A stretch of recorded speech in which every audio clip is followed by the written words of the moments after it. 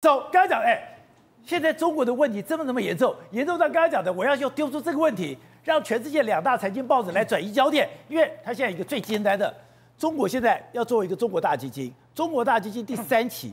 居然现在钱出问题了，而且 Financial Times 讲完讲完了这个所谓八卦的风花雪月之后，他又报道一个消息，他说什么？原本北京有所谓第三轮的这个大基金，大基金来说的话，约约莫呢，这个可能要超过约莫是三千亿人民币左右的一个数字，折合新台币是一点三兆。就没想要募集这个资金呢？他原本过去的这个大资金呢，要么就是中央出钱、央企出钱、地方政府出钱，大家一起来兜。就没想到现在呢，因为呢，包括说像经济环境不好，然后地方的这个财政压、财务压力非常大，然后企业也不支持，然后这个很很多陆陆续续的企业高管被抓，所以目前为止来说啊。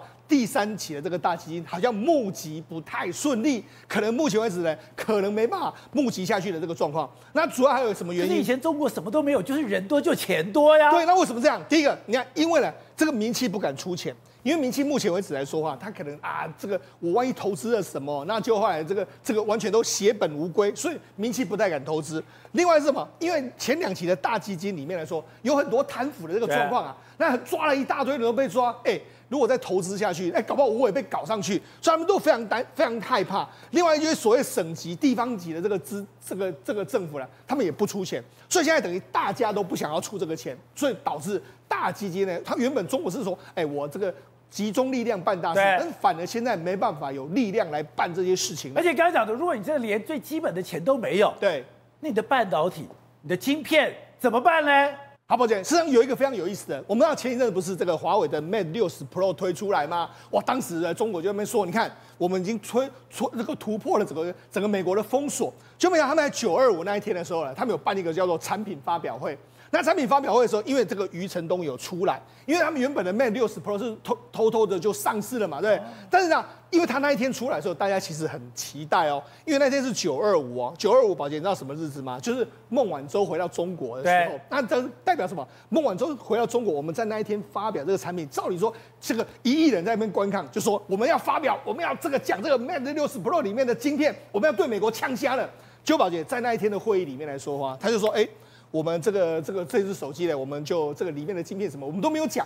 宝姐，为什么大家会觉得很失望？第一个，如果我们看到过去这个华这个苹果在介绍这个 iPhone 的时候，他会说。我们这手机怎样怎样，然后他会把这个晶片把它讲一轮，就没讲他完全没有讲，而且人家就说为什么要讲什么，他完全都没有任何讲。他说：“哎，我们这个今天的这个先锋计划的这个产品的计划，我们就不做介绍，就不做介绍了。”哎，你花这么大的功夫，你做这样的一个 promo，结果你最最关键产品对不做介绍，为什么？那人人家就说：“哎，你是不是呢？怕说你可能介绍太多了，美国又会把你这个锁定，然后把你制裁。”就反正那一天最大的亮点就是刘德华。所以呢，事实上整个好像完全有一点焦，有完全有一点失焦的这个状况。就没想后来呢，美我们知道美国之前雷蒙多不是说我们美国要好好研究这个手机的这个状况吗？就没想现在呢，人家就说华为这只手机呢，恐怕会卖一只赔一只，而且可能这个量产都会有问题。量产有问题？对，为什么？因为实际上美国之前就把它拆解，他说原本他用所谓七纳米嘛，对不对？那七纳米的这个生产效率非常低，低到什么程度呢？他说有可能会低到什么十五趴以下，甚至更低。为什么为什么这样？因为事实上台积电之前有做过嘛，事实上用所谓的 DUV 呢去做这个所谓的十纳米以下的这个状况，台积电有试过。台积电就是因为知道不行，所以十纳米以下它就尽量用 DUV 来做。那还有除了这个台积电之外，还有还有公司不信邪，那就是 Intel。那 Intel 不是一直被卡关吗？对，一直为什么一直被卡关？他就是认为说十纳米以下我就用 DUV 做就可以了，就他就是一直不用 EUV，所以他被卡了好几年的时间。所以你说，如果连台积电连 Intel 都做不了的，对，中芯能做吗？中所以中芯的良率应该会非常非常低。中芯因为它可能可以用过去台积电的这个经验，它可以做得出来，但是良率恐怕是惨惨的可怜。所以呢，它的整个可能是卖一只赔一只。甚至呢，很多人就质疑说，它量产能力都会有相当大的状况，所以这也是为什么可以解释说，他在这整个产品会议里面来说，哎，我们就不要对这个产品介绍太多的这个状况。所以你就找到市场现在整个中国面临到相当科技产业面临到一些问题。另外当然不用说嘛，这几天大家都在讲什么，讲这个这个许家印被带走嘛，对，他已经确定被警方带走，而且被拘拘留起来。被管束住，那目前为止怎么处理它？所以我才说，现在中国有非常多的事情呀。这个习近平一个头两个大，在这样的状况之下来说的话，或许他会觉得说，呃，秦刚或许这个问题也不是什么太大的问题吧。好，辉珍，另外刚刚讲到，现在水季界还面临一个除了人祸之外的天灾。哎，最近刚刚讲到的加拿大的山火，居然已经跑到了格陵兰，而且现在瑞典，瑞典的水灾竟然桥断掉了。是啊，尤其是你现在看到画面，你会想说这竟然是瑞典的一个土石流，因为大雨冲刷它的路面，所以瑞典的？对，从来没有这样的情况，而且呢，很可怕的是，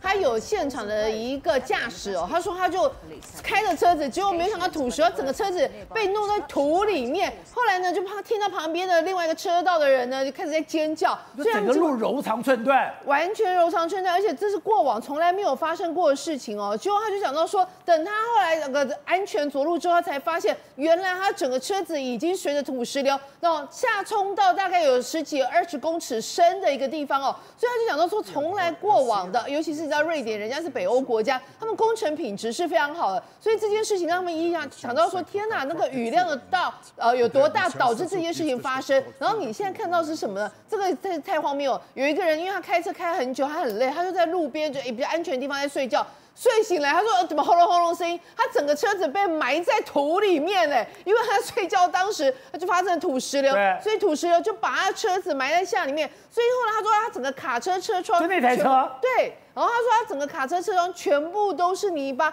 还好他并没有被活埋哦，就是还没有很深。但这件事情也就是让瑞典人当时你看他在半夜的时候，他只是停在旁边休息，没有想到土石流把他整个就往下冲，然后呢，他车子上面全部都是泥巴。”所以他们讲到说，类似的情况真的可显见哦。这气候异常，呃，连北欧国家这样子的那个工程品质也难逃啊这个气候的一个蹂躏。再来还有哪里呢？就希腊，希腊我们之前提过，它的一个风暴呢，丹尼尔肆虐三周之后呢，现在又有新的一个风暴。你看那个这个河河水多么湍急哦，而且很可怕的是，它还夹杂着闪电哦，所以说这个整个街道都被洪水给覆没呃覆盖住了。然后呢，他们现在希腊政府特别去宣告。这几周啊，其实气候异常情况非常的频繁发生，叫大家不要随便移动。你看，那个车子都被冲到旁边去。他们其实呢，这个希腊的，因为他们都是跳岛，所以他们那个船非常大，很多人是其实开着车，然后上了船之后到了另外一个岛继续开车旅游。他现在先讲说，你千万不要再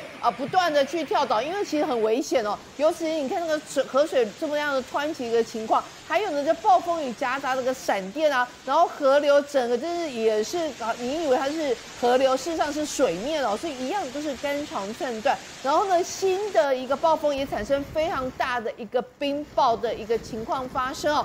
所以呢，哎，刚提到了，哎，希腊也是这样，而且希腊要记得哦，我们之前这个冰雹现象，我们之前提过那个希腊的丹尼尔，它肆虐整个希腊长达两到三周，哎，就好不容易过了，现在又有新的。另外还哪里呢？就东欧哦，现在你看到的是罗马尼亚哦。罗马尼亚这个国家呢，其实它在那个它的西南部地区，是靠近黑海 Constanta 那个其实旅游的一个度假胜地哦。没有想到，哎，现在整个地下道里面全部都是积满了河水，所以的车在里面卡掉，没有办法出来啊。有的甚至是他家里也都都淹水的状况，这在过往来讲哦，其实也很少见。他们说这个是非常强大的一个暴风雨哦。我们接到相关的警报，不到五分钟，马上就龙卷风来了，根本来不及反应。就有这样的巨响哦，所以这种类似情况真的是贫穷不断的发生哦。再来，你刚提到了隔离啊，这发生什么事？这很荒谬哎。他们就说现在，因为我们都知道加拿大之前哦大火，哎，这加拿大整个统计下来哦，